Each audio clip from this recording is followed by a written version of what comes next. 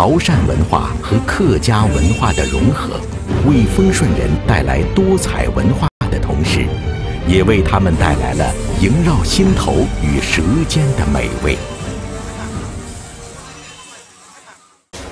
老板你好，你好，你好，你好。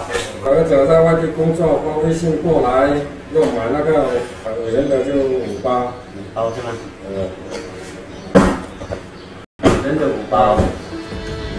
中秋前后，家住丰顺县硫磺镇的蔡大爷，每年这个时候，总要到镇上的一家老店，为在国外生活的儿女们买上几盒云片糕。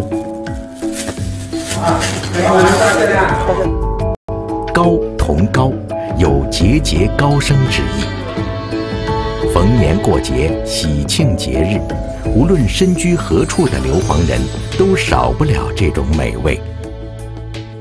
特别在春节的时候，客家人就最喜欢，就是一定要买买这个云片糕。潮汕人，呃，就中秋节，中秋节送糕的就很多。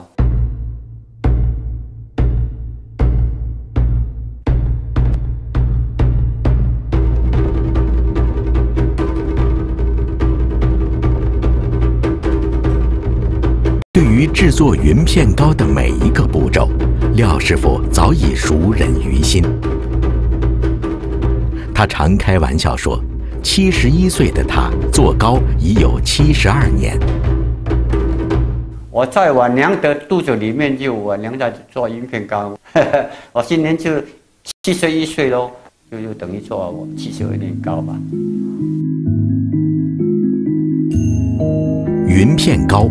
由廖师傅先祖于清朝道光年间始创，已有一百七十多年的历史。二零一五年，硫磺云片糕制作技艺被列入广东省第六批省级非物质文化遗产代表性项目名录。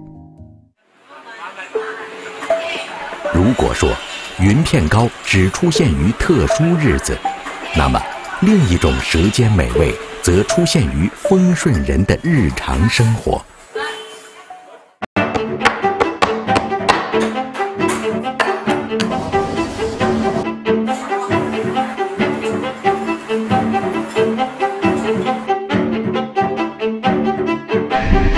对于许多丰顺人来说，他们一天的生活是由一碗汤粉开始，也由一碗汤粉结束。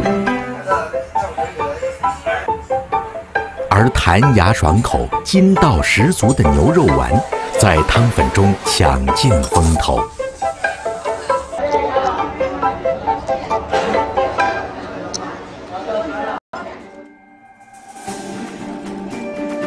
牛肉丸是潮汕地区最负盛名的小吃，最早起源于客家人，后经潮汕人改良，发展成为餐桌上一道美味。不同于其他地方，丰顺人制作牛肉丸用的是水牛肉。在制作上，他们也颇为讲究。丰顺人坚持手锤牛肉，左右开弓，上下捶打。牛肉纤维松散断裂之时，细胞分子重新排列，蛋白质得以尽情释放。至少三十分钟的捶打，不仅要力量均匀，且中途不能中断。成就牛肉丸上佳的品质，不仅需要力量，还要有足够的耐心与细致。每五千克的牛肉就要挑出一百克的筋膜，只有这样，才能让肉米更加纯净。做出的牛肉丸才美味弹牙、细腻柔韧。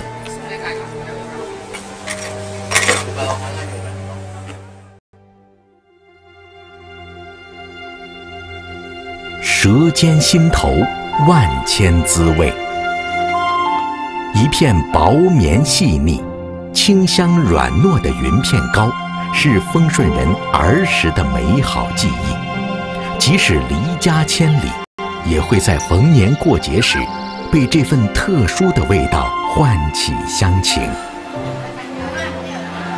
一粒劲脆弹牙、嫩滑鲜香的牛肉丸，则在丰顺的清晨，唤起人们身体的每个细胞，让他们在唇齿留香后，开始一天的新生活。